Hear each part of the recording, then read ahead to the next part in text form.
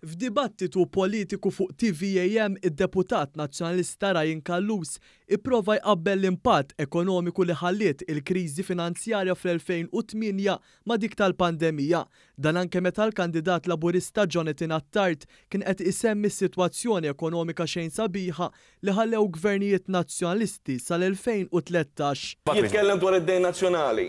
Ħallewna f'sitwazzjoni, fl-2012, l-2013, meta tlajna fil-Gvern aħna, li fejn kellna noħorġu l-pajjiż minn proċeduri ta' deficit eċċessiv. Wara kriżi internazzjonali finanzjarja. Insejt inti? Eħe, daqs il-pandemija kienet. Aħna ma tfajna. Xejn ma kienet il-kriżi finanzjarja. Daqs il-pandemija. Daqs il-pandemija. Hawnhekk Jonathan Attard fakkar lill-kandidat Nazzjonalista fl-għajnuna kruċjali li Gvern Laburista. Stat ta' lin-negozji, ħaddiema u familji Maltin u Għawdxin fi żmien ta' pandemija.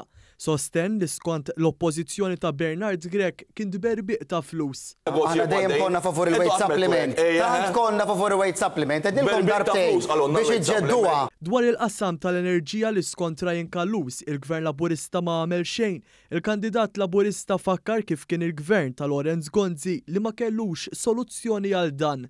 Fuq il-kwistjoni tal-kontijiet qed jgħidilna li kellhom ikunu irħos. Meta l-istess Partit Nazzjonalista kien jgħidilna di Alice in Wonderland. Kien ħa jibgħat in-nies jixgħlu l-washing machine mal-lejl, l-unika soluzzjoni li sabu, jew jtihom erba' bozoz.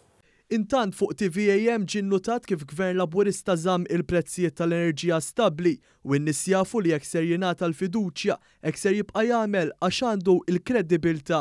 Hemm il-ftehim neċessarju biex nassiguraw illi, għaż-żmien li ġej, inżommu l-prezzijiet stabbli u affordabbli għan-nies. Dik għandna nistgħu nagħtuha, dik il-garanzija. In-nies jafu li fl-aħħar snin żammejna l-prezzijiet, żammejna mal-commitments tagħna fl-aħħar mill-aħħar. Lura fl-2013 in-nies jafu li raħħasna l-kontijiet b'25 fil-mija. In-negozji, sussegwentament, ukoll jafu li żammejna l-kelma tagħna magħhom.